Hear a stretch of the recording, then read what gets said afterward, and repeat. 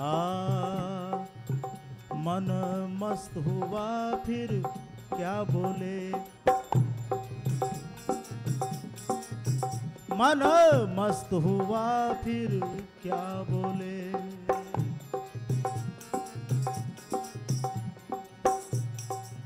क्या बोले फिर?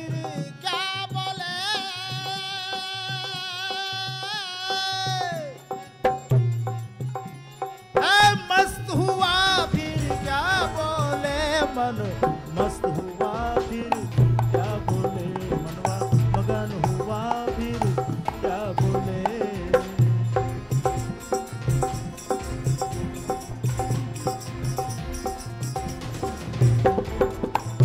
कब और कैसे? हीरा पाया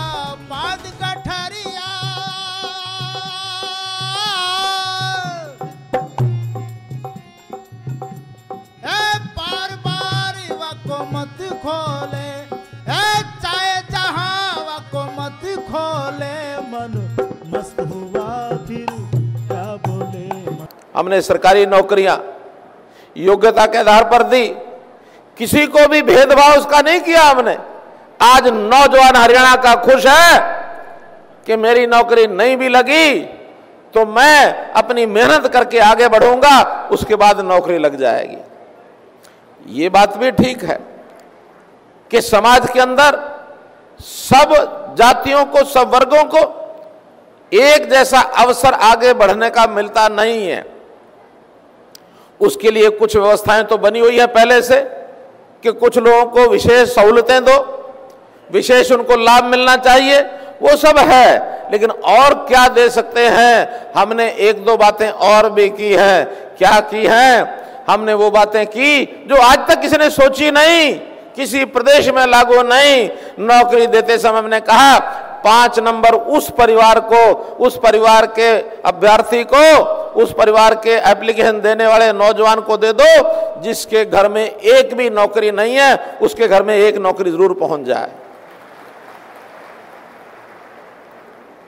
हम चाहते हैं कि समाज में जो लोग पिछड़े हैं, उनको उन्हीं उन्हीं वर्गों में भी आगे कैसे बढ़ाया जा सकता है? कोई पीड़ित परिवार उसको कैसे आगे बढ़ाया जा सकता है? हमने विचार किया, सरकारी योजनाएँ बहुत हैं।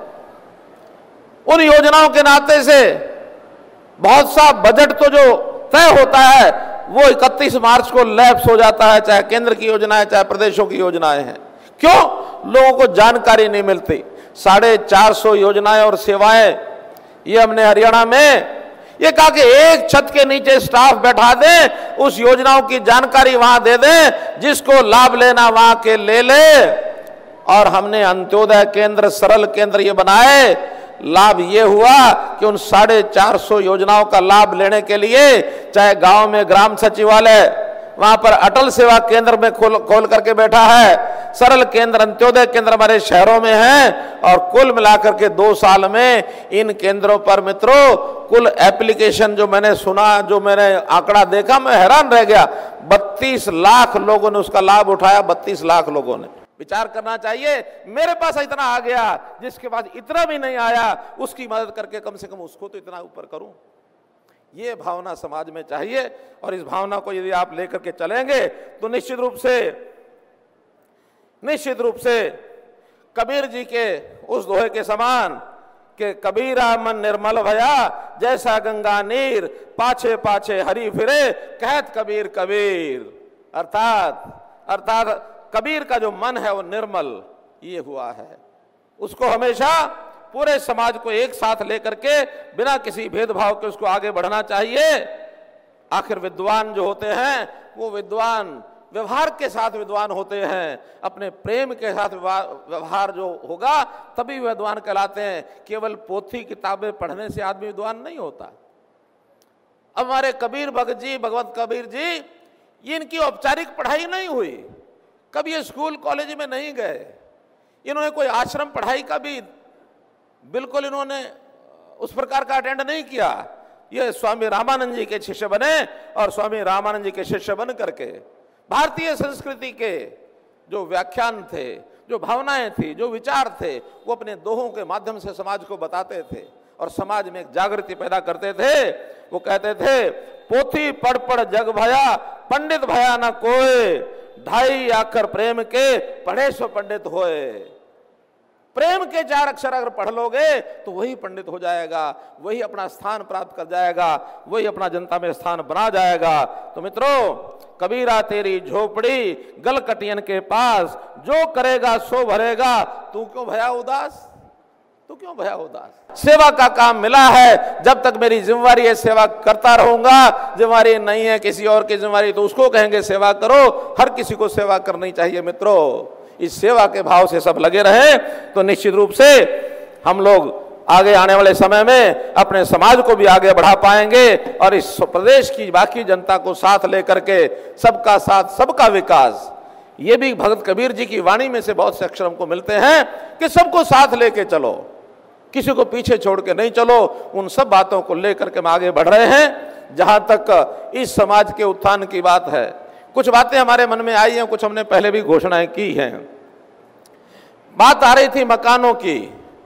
प्रधानमंत्री जी ने घोषणा की है कि 2022 तक सबके लिए आवास, सबके सिर पर पक्की छत ये होगी जिसके सिर पर पक्की छत नहीं है। हम ऐसी योजनाएँ बना रहे हैं। उन सबसे एप्लीकेशन लेकर के 2022 तक सबके पक्के आवास की प्रबंध करना ये केंद्र सरकार के साथ, प्रदेश सरकार मिलकर के इस समस्या को हल करने वाली है। इसके लिए कोई चिंता किसी को करनी नहीं है।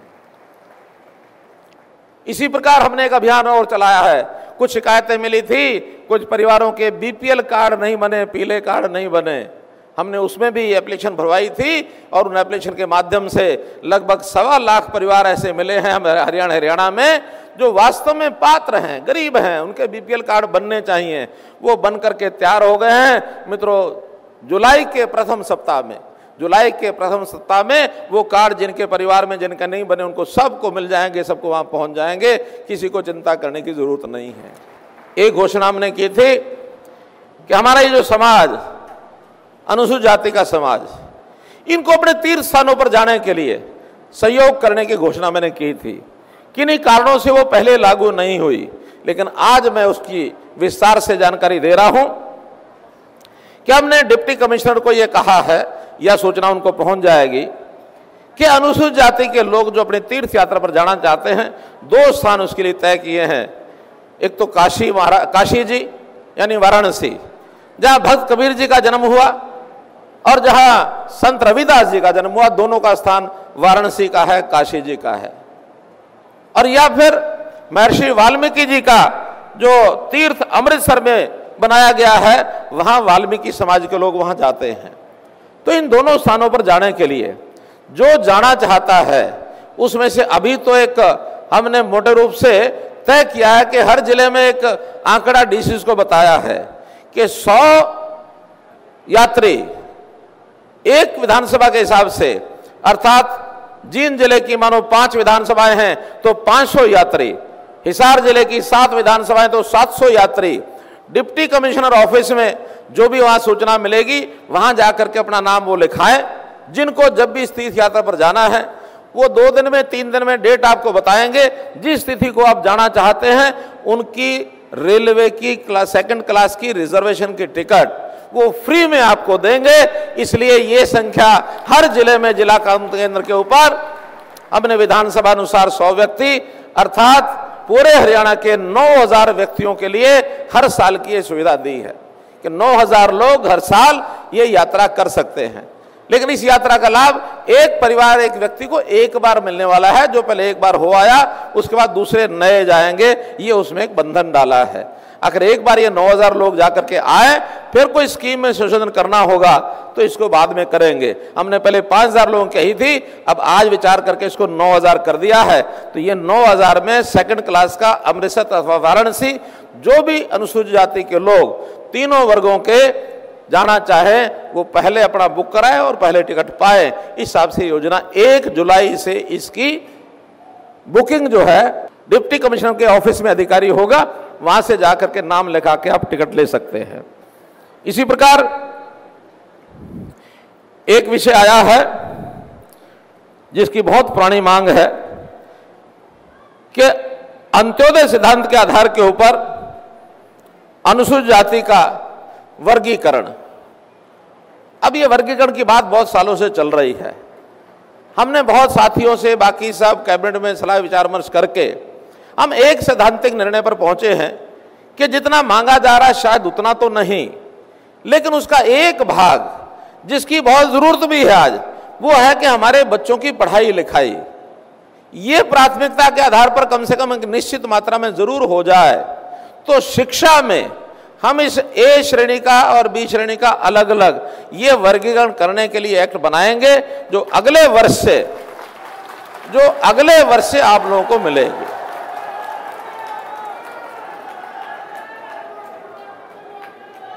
क्योंकि आखिर बच्चे हमारे पढ़ लिख करके जितना आगे बढ़ेंगे, उतना ही अपने पैरों पर खड़े होने के लिए उनको अवसर मिल जाएगा।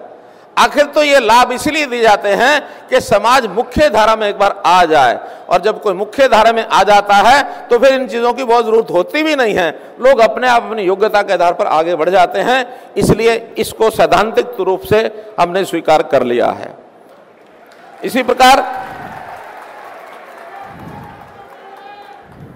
सरकारी नियुक्तियों में अब दो प्रकार प्रकार की नियुक्तियाँ होती हैं जो मांग रखी गई है। एक तो सरकारी नौकरियाँ हैं, उनमें मैं समझता हूँ जो हमारा 20 परसेंट का आरक्षण है, वो नौकरियों में मिलता है। उसमें अगर कहीं बैकलॉग होता है तो हमने ये तय किया है कि पिछले साल का बैकलॉग हर अगले साल में उसको एडवर्टाइजमेंट करेंगे ताकि जितनी संख्या उसमें पूरी होती जाए, अगले अगले साल में उस बैकलॉग को डालते जाएँगे। क्योंकि ये झगड़ा बहुत पड़ा हुआ है कि भाई उन्नीस सौ बहत्तर से बैकलॉग उन्नीस सौ तिहत्तर से बैकलॉग मित्रों, ये बैकलॉग इतना पुराना, कोई करने भी नहीं देगा। अगर आज जो लोग नौकरियाँ कर रहे हैं, उन्नीस सौ तिहत्तर वाला अगर उस समय नौकरी लगता तो आज वो रिटायर हो जाता। तो इसलिए उस समय की पोस्टों के बदले में आज कोई पोस्ट मिलेगी नहीं। लेकिन हर साल जो नौकरियाँ रह जाती हैं, जैसे अब हमने भर्तियाँ की हैं, पिछले साल में बीस हज़ार की हैं, अठारह हज़ार की हैं, उससे पहले भी की हैं, या अब ये होने जा रही हैं। हमारे चुनाव से पहले पहले निश्चित रूप से एक 20 से पच्चीस हज़ार नौकरियों का विज्ञापन लगभग आठ दस हज़ार का तो निकल चुका है, दस हज़ार और निकलेगा। इन बीस हज़ार नौकरियों में भी सब लोग अप्लाई करें और चुनाव से पहले पहले इनके निर्णय, यानी हो जाएगी, इसकी नियुक्तियाँ भी, इसके परिणाम भी निकल आएँगे, ऐसा हमारा योजना है। बाकी तो हमारे डिपार्टमेंट के नाते कितना चुस्ती से करते हैं। इनमें कोई अगर मानो बैकलॉग रह जाता है तो निश्चित रूप से अगले साल इसको भरने का प्रयत्न करेंगे। लगातार नहीं चलाएँगे, हर किसी को अवसर मिलता रहे, और मान लो अगर बैकलॉग में नौकरियाँ नहीं मिल पाती तो कम से कम पोस्ट खाली नहीं रहेंगी। पोस्ट खाली रहती हैं तो जनता के ऊपर असर जाता है। जनता के लिए काम, सेवा करने वाले लोग नहीं मिलेंगे तो ऑफ़िस खाली रहेंगे। इसलिए हर साल के साल इसको भरने की कोशिश हम करेंगे। दूसरा जो नियुक्तियों में इनका कहना है, सरकारी नियुक्तियाँ, यानी राजनीतिक नियुक्तियाँ। राजनीतिक नियुक्तियाँ हमने बहुत की हैं, हर समाज में से की हैं, फिर भी इस समाज में से और कुछ आगे बढ़ने की बात आएगी। योग्य व्यक्ति जैसे जैसे हमको मिलते रहेंगे, उन योग्य व्यक्तियों को पार्टी के हिसाब से निर्णय लेकर के हम आगे बढ़ाते रहेंगे। जींद की इस धरती पर यह ऐतिहासिक हमारा सम्मेलन हो रहा है। जींद का ऋण भी हमारे पर बहुत है। तो जींद में समाज ने एक एकड़ भूमि पर जो छात्रावास की बात कही है, संत कबीर महासभा के एकड़ ज़मीन पर संत कबीर छात्रावास भवन का निर्माण करना है। हमने तो ये कहा कि एक एकड़ ज़मीन सरकार को दे दो, सरकार सारा ही बना देगी। लेकिन हमारे सभा के लोगों ने कहा, नहीं, इसको हम खुद चलाएँगे, हम बनाएँगे, आप हमको पैसा दे दो। इन्होंने कोई राशि बताई थी? उस समय मैं सोच रहा था कितनी राशि मैंने कभी किसी को एक राशि के रूप में अभी हरियाणा में कभी नहीं दी। तो सबसे ज़्यादा देंगे तो बाकी समाज के लोग भी खड़े होंगे। लेकिन मन में आया कि इनके मुँह से निकली बात कैसे पूरी हो? मेरी बात भी रह जाए, इनकी भी रह जाए तो हमने उसमें एक सिस्टम निकाला है। और वो सिस्टम आपके सामने रख रहा हूँ अभी। वो सिस्टम क्या है? सबसे पहले तो हमारे कैप्टन अभिमन्यु वित्त मंत्री इनका ठीक है, ग्यारह लाख रुपया मैं दे देता हूँ। फिर संत कबीर छात्रावास के लिए हमारे कृष्ण पवार ने कहा, ग्यारह लाख मैं दे देता हूँ। कितने हो गए? कितने हो गए? कृष्ण बेदी कहने लगे, मैं पीछे कह रहा हूँ, ग्यारह मैं दे देता हूँ। कितने हो गए? फिर मनीष ग्रोवर कहने लगे, मैं पीछे करूँ ग्यारह मैं दे देता हूँ। कितने हो गए? फिर हमारे सांसद बहन सुनीता दुग्गल लेकिन हम भी तो सांसद बन गए, हम नहीं दे सकते क्या? मैंने दे सकते हैं कितने? ग्यारह। कितने हुए? कितने हुए? पचपन। और फिर हमारे सांसद रमेश कौशिक, उनका मैं भी तो यहीं का सांसद हूँ। मैंने कहा, कितने? कितने ग्यारह। कितने हो गए? छियासठ। अब इक्यावन करने थे, छियासठ हो गए तो भाई फालतू हो गए। पूरे कर दे। वो कहते, पूरे कर दो। तो भाई, पूरे करने में चौंतीस की कसर है, मैंने पैंतीस और कर दिए तो कुल मिला के एक करोड़ एक लाख। इसी प्रकार और संस्थाओं के भी कुछ नाम लिए हैं। हालाँकि जिनके नाम लिए हैं, उनको पहले मेरे अकाउंट से ग्यारह ग्यारह लाख रुपए आ चुके हैं, चाहे वो गुरु रविदास जी महासभा हो या वाल्मीकि धर्म समाज सेवा समिति हो, उनको पहले ग्यारह ग्यारह लाख आए हैं। एक नया समाज है, भुर्जी समाज सेवा समिति। तो भुर्जी समाज सेवा समिति और वाल्मीकि धर्म समाज और गुरु रविदास महासभा, फिर संत कबीर सेवा संघ तो इनको भी क्योंकि इन्होंने कह दिया तो पाँच पाँच लाख रुपया इनका भी, बीस लाख रुपया और इसमें भी ये मंजूर किया जाता है। तो इसलिए मित्रों, पैसे की कोई कमी नहीं है। पैसे की कोई कमी नहीं है। आप लोग समाज में जितना कर सकते उतना करिए और समाज में से ज़रूर करिए। बिना समाज के पैसे अगर कोई चीज़ आप बनाओगे तो सफल नहीं होगी। आप अपने समाज से जितना कर सकते हैं, उतना करिए। चाहे एक एक रुपया पाँच पाँच रुपए दस दस रुपए बीस बीस पचास पचास सौ सौ रुपए पाँच पाँच सौ रुपए जितने परिवारों से इकट्ठा कर सकते हैं, करिए। ये छात्रावास जितना आप लोग योगदान डालेंगे, उतना ये पवित्र और पुण्य की कमाई में से ये छात्रावास बनेगा। और यहाँ छात्रावास में रहने वाले बच्चे, वो भी निश्चित रूप से अपनी योग्यता में निरंतर आगे बढ़ते रहेंगे। और और एक योजना हमारी चल रही है कि 11 छात्रावास सरकार की ओर से बनने वाले हैं, उसकी भी फ़ाइल चल रही है। उसमें भी हमने सरकारी छात्रावास होंगे, उसमें रिजर्वेशन करेंगे हम। और उस रिजर्वेशन में से 50 परसेंट रिजर्वेशन अनुसूचित जाति की, और बाकी 50 जो रह जाएँगे, जो आरक्षित नहीं है, उन आरक्षित में भी बाकी 50 में 10 परसेंट जैसे सेंटर ने किया है, जो इकोनॉमिकली बैकवर्ड हैं। दस परसेंट उनके लिए और 40 बाकी जनरल के लिए। तो इसलिए उन ग्यारह छात्रावासों में हमारे बच्चे अगर थोड़ा मेरिट में पीछे भी रह जाएँगे तो भी उनको 50 परसेंट का हक पूरा मिलेगा। ये 11 छात्रावास नए, ये बहुत जल्दी बनने शुरू होंगे। इसके लिए सरकार ने ज़मीन कुछ जगह पर ढूंढ ली है, कुछ ढूंढ करके इसका निर्माण बहुत जल्दी शुरू करेंगे। आपके जख्म पर मरहम लगाने की शुरुआत 24 अक्टूबर 2015 को कैथल की ऐतिहासिक धरती से की। कैथल की ऐतिहासिक धरती पर भगवान वाल्मीकि जयंती समारोह में श्रीमान मनोहर लाल जी ने घोषणा की कि चारों महापुरुषों की जयंती समारोह हरियाणा प्रदेश के अंदर सरकारी खर्चे पर मनाए जाएँगे। मित्रों, ये राज, प्रजातंत्र के अंदर सबसे बड़ा फैसला था। माने मुख्यमंत्री जी ने घोषणा की, सफ़ाई कर्मचारी आयोग का गठन किया जाएगा। मुख्यमंत्री जी ने कैथल के अंदर घोषणा की, अनुसूचित जाति आयोग का भी गठन हरियाणा में पहली बार किया जाएगा। वहीं कैथल की धरती पर भगवान वाल्मीकि जी के नाम पर संस्कृत विश्वविद्यालय बनाने की घोषणा की।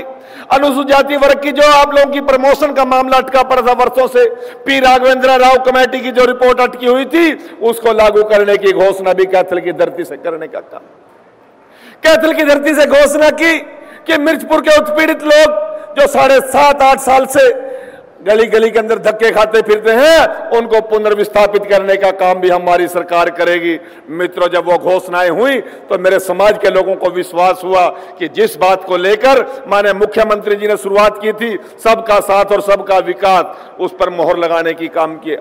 पिछले पौने सा, पाँच साल के माननीय मुख्यमंत्री श्रीमान मनोहर लाल जी के नेतृत्व वाली सरकार ने हरियाणा प्रदेश के दो करोड़ साठ लाख लोगों को एक नारा दे करके हरियाणा एक हरियाणा एक का संकल्प दे करके हरियाणा के गाँव गरीब पिछड़े लोगों को, कमज़ोर वर्ग के लोगों को यह भरोसा दिलाने का काम किया है यह विश्वास कायम करने का काम किया है कि ये सरकार, ये गरीब वर्ग की भलाई करने वाली सरकार है, ये कमज़ोर के साथ खड़े होने वाली सरकार है। और जिस प्रकार से इतनी बड़ी हाजिरी उपस्थिति में आज आप संत कबीर जी का ये समागम आज यहाँ पर मनाने के लिए आए हैं। यह उसी नई ताकत का प्रतीक है नई ऊर्जा का प्र, आज ये प्रमाण है कि मनोहर लाल जी के साथ हम सब मिलकर के संत कबीर जी का जयंती को मनाने का काम आज कर पा रहे हैं।